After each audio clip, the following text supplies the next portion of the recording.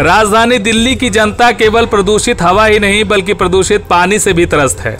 जी हाँ ऐसा हम नहीं, बल्कि केंद्र सरकार की ओर से जारी की गई रिपोर्ट कह रही है। हालाँकि दिल्ली सरकार ने केंद्र सरकार की इस रिपोर्ट को झूठी रिपोर्ट बताया है। केंद्रीय मंत्री रामविलास पासवान द्वारा रिपोर्ट जारी करने के बाद ही आप नेताओं ने उनको निशाने पर ले लिया।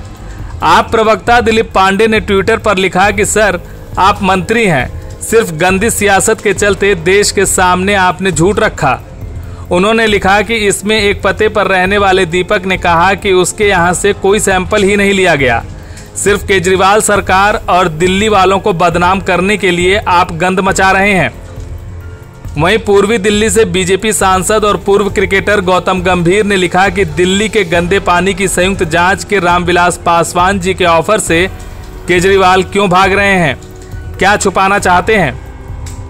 वहीं केंद्रीय मंत्री रामविलास पासवान ने आज ट्वीट करते हुए लिखा कि, आज सीएम अरविंद केजरीवाल जी ने प्रेस कॉन्फ्रेंस के दौरान अपने पहले के दावे से पलटते हुए कबूल किया कि दिल्ली में गंदे पानी की समस्या है।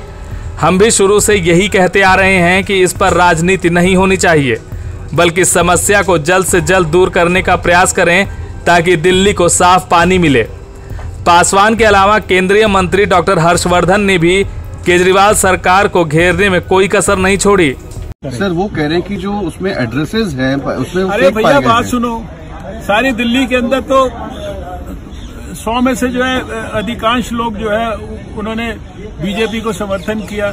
क्या जो इतनी बड़ी जो रिप्यूटेड एजेंसीज होती है वो जब सैंपल उठाने के लिए जाती है तो क्या वो ये ढूंढती है कि कौन सा घर किसका है और किसके आधार पर इतनी इतनी बेतुकी और वाहियात बात जो है दिल्ली के मुख्यमंत्री कर रहे हैं कि मैं समझता हूँ कि उसको मतलब कभी कभी मुझे एकदम समझ में नहीं आता कि जो है इसको क्या बोलूँ मैं, इसको इंटेलेक्चुअल बैंक बोलूँ, इसको क्या बोलूँ मैं। केंद्रीय मंत्री हर्षवर्धन ने ट्विटर पर लिखा कि केजरीवाल जी जल बोर्ड के अध्यक्ष हैं। उनकी लापरवाही के कारण सैकड़ों बच्चे दूषित पानी से दिल्ली के अस्पतालों में ज़िंदगी और मौत से जूझ रहे हैं। दिल्ली सीएम ने बीआईएस जैसी प्रतिष्ठित संस्था को बदनाम किया है। लोगों में झूठ फैलाया है। दिल्ली सीएम अपनी इस करनी के लिए जनता से माफ़ी मांगे। केंद्रीय मंत्री हर्षवर्धन के ट्वीट का जवाब देते हुए मुख्यमंत्री केजरीवाल ने लिखा कि, सर, आप तो डॉक्टर हैं। आप जानते हैं कि ये रिपोर्ट झूठी है, राजनीति से प्रेरित है। आप जैसे व्यक्ति को ऐसी गंदी राजनीति का हिस्सा नहीं बनना चाहिए।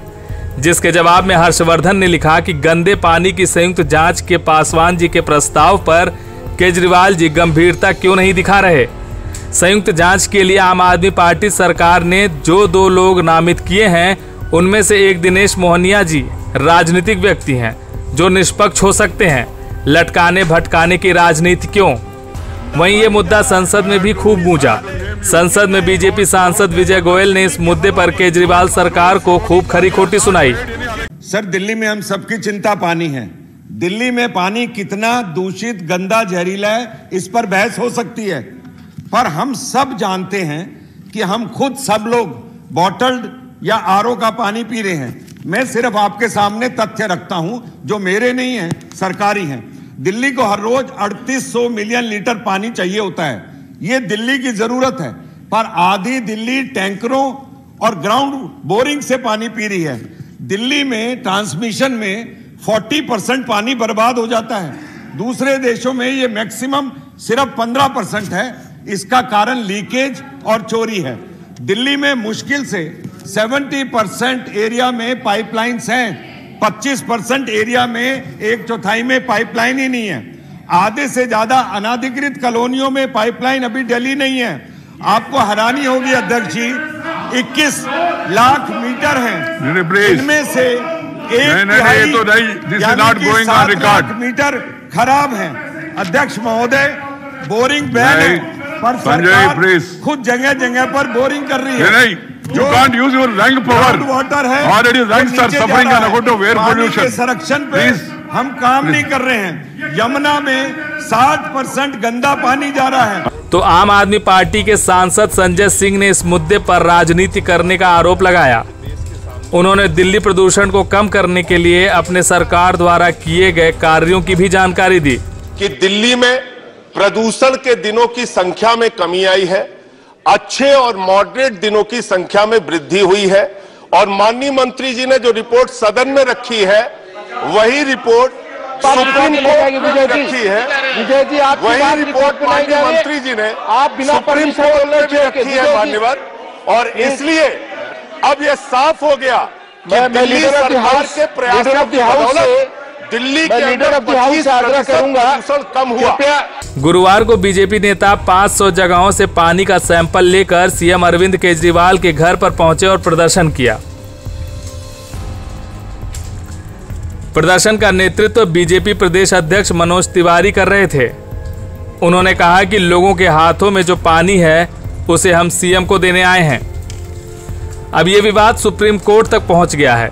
सुप्रीम कोर्ट ने कुल घुलनशील ठोस पदार्थ टीडीएस 500 मिलीग्राम प्रति लीटर से कम होने पर आरओ के इस्तेमाल पर एनजीटी द्वारा प्रतिबंध लगाए जाने पर आरओ कंपनियों के संगठन से सरकार के पास जाने को कहा है।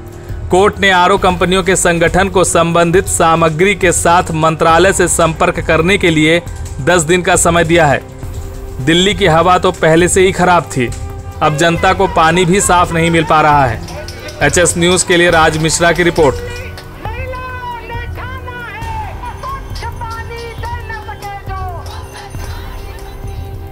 और दुनिया से जुड़ी सभी प्रमुख खबरों के लिए हमारे चैनल को सब्सक्राइब करें और लेटेस्ट वीडियो पाने के लिए बेल आइकन को ज़रूर दबाएँ। साथ ही हमारे वीडियो को लाइक और शेयर करना ना भूलें